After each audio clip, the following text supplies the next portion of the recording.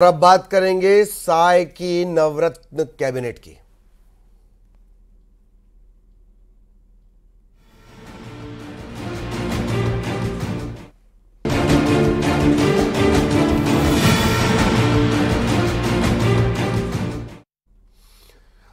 तो तय हो गए हैं साय के सिपहसालार। छत्तीसगढ़ में विष्णुदेव साय के कैबिनेट का विस्तार हो गया है। नौ विधायकों को आज राज्यपाल विश्व भूषण हरिचंदन ने मंत्री पद की शपथ दिलाई। पुरानों के साथ साथ नए चेहरों को मौका दिया गया है।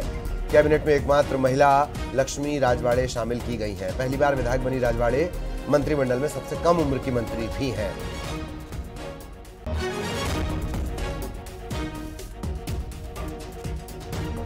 तो सहाय की कैबिनेट का शपथ ग्रहण हो गया। नौ विधायकों ने मंत्री पद की शपथ ली है। राजभवन में शपथ ग्रहण समारोह हुआ। कैबिनेट में सरगुजा संभाग का दबदबा रहा। सरगुजा संभाग से तीन मंत्री बने हैं। मैं मैं लखन लाल देवांगन ईश्वर की मैं मैं श्याम बिहारी जायसवाल ईश्वर मैं मैं ओपी चौधरी ईश्वर की शपथ मैं मैं लक्ष्मी राजवाड़े ईश्वर की शपथ लेती हूँ। मैं मैं टंकरा वर्मा ईश्वर की शपथ लेता हूँ।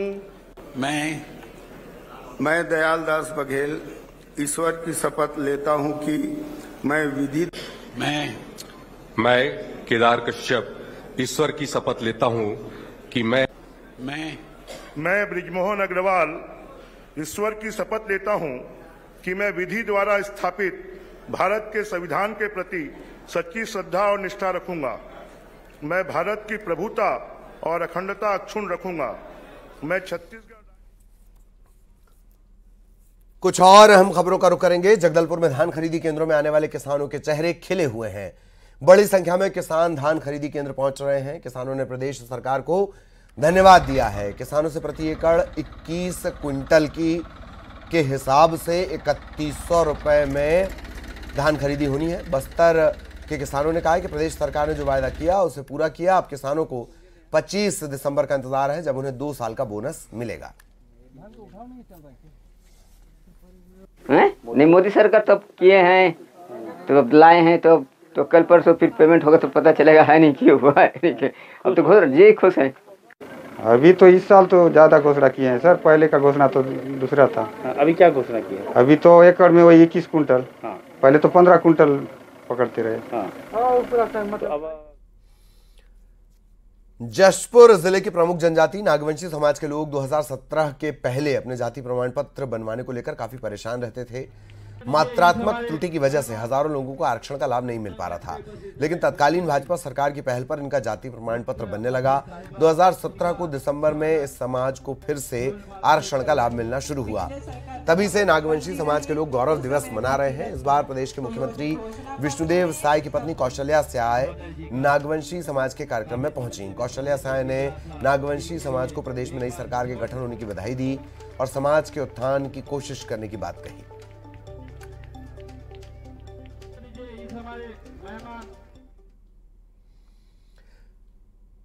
कोरिया के मार्गदर्शन संस्था महाविद्यालय में एडमिशन को लेकर छात्रों ने प्रशासन पर गंभीर आरोप लगाए।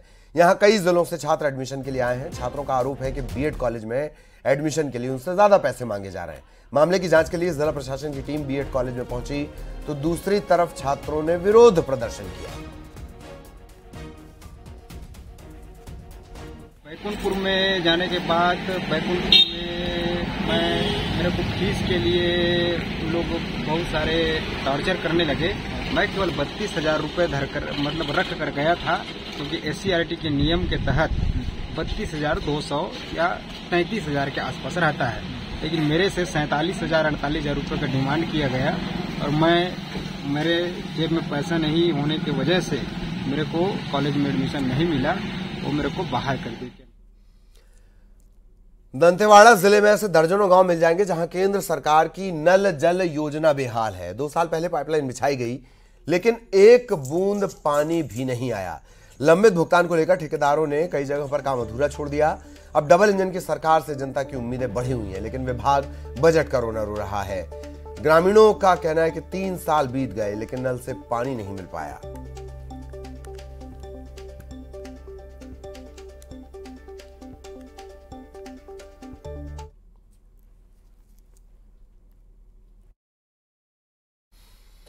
सूरजपुर में मानवता को शर्मसार करने वाली तस्वीर सामने आई है। नेशनल हाईवे तिरालीस पर सड़क किनारे पंद्रह दिन की बच्ची को लावारिस हालत में छोड़ दिया गया।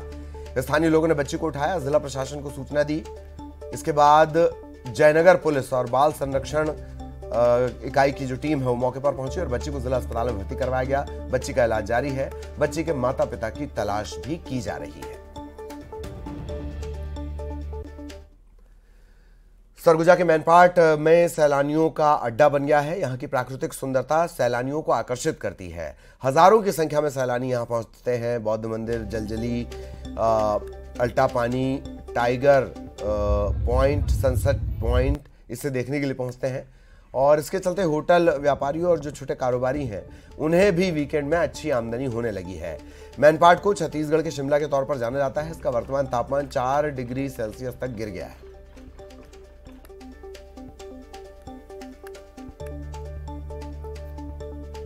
द्वितीय जगह है छत्तीसगढ़ में जो मैं कई वर्षों से रहने के बाद भी देख नहीं पाया था। न केवल मैनपाट पर से यहाँ के जो पाँच छह स्पॉट्स जो हमने देखे अनुरोध रहेगा छत्तीसगढ़ शासन से कि इस इस क्षेत्र को और प्रमोट करें। हम लोग यहाँ पे दलदली गए थे उल्टा पानी और सनसेट पॉइंट सारी जगह अच्छे से देखे और यहाँ की जो आबो हवा है काफ़ी सुंदर है। हमारे पास पहले तो केवल छत्तीसगढ़ के सैलानी आते थे अभी कोलकाता से, झारसगुड़ा से और विशाखापट्टनम, जो छत्तीसगढ़ के सीमाओं के जो टूरिस्ट हैं, अभी हम वहाँ तक पहुँच रहे हैं, वहाँ के लोग बहुत आने लगे और अब आपको दिखाते हैं खबरों का 2020